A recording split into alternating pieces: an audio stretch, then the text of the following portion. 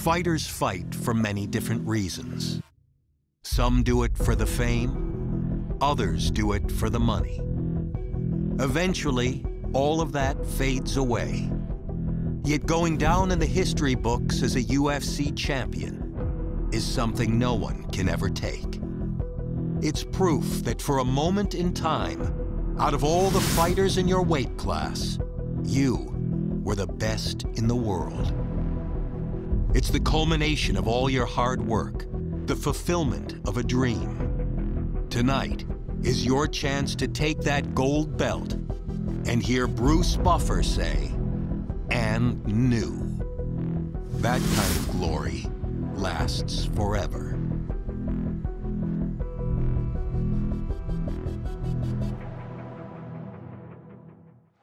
Coming up next, it's a lightweight championship.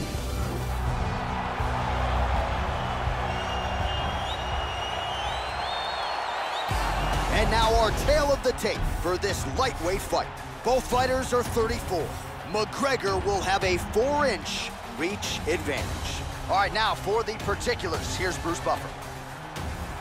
Ladies and gentlemen, this is the main event of the evening.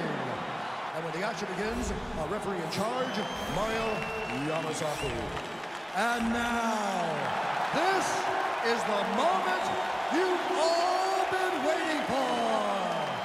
Live from the sold-out United Center in Chicago, Illinois. It's time! Five rounds for the undisputed UFC Lightweight Championship of the World. Introducing first, fighting out of the blue corner. This man is a kickboxer, holding a professional record of 20 wins, no losses. He stands 5 feet 9 inches tall, weighing in at 155 pounds. Fighting out of Dublin, Ireland, introducing the challenger, the notorious Conor McGregor!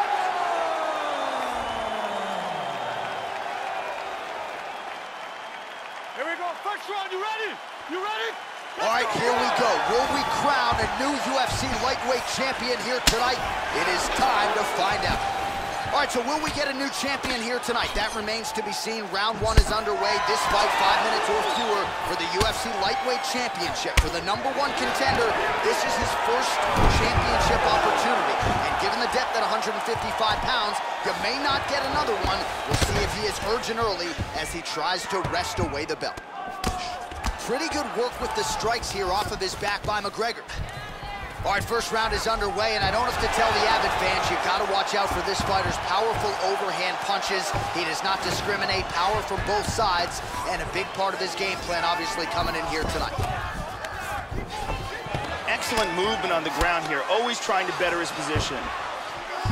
Posture's up, ooh, and he lands a brutal strike to the head.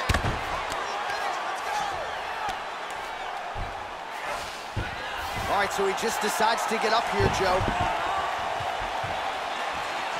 Huge leg kick.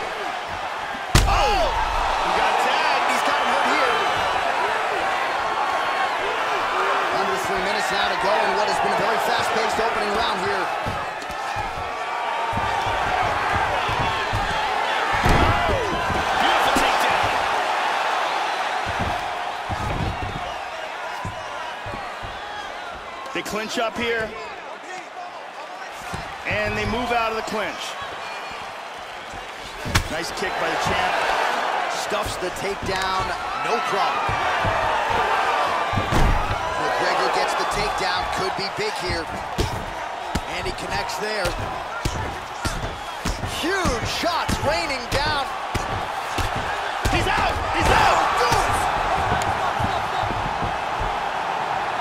And that is a great sign of an intelligent fighter. Composure. Knew he hurt him, and he's taking his time. Well, that's the way they used to ground and pound fighters back in the day, literally trying to pound your opponent's head through the canvas. Elbows and strikes and hammer fists, one after the next, an offensive explosion on the ground that gets him the knockout win here tonight. Let's take a look at that again. And here it is again. Boom. And there is the UFC lightweight champion. He is going to be a hard guy to buck off the throne, getting it done by way of knockout here tonight. What a finish on the sport's biggest stage. Ladies and gentlemen, referee Mario Yamasaki has called a stop to this contest at 3 minutes, 9 seconds of the very first round. Declaring the winner by knockout.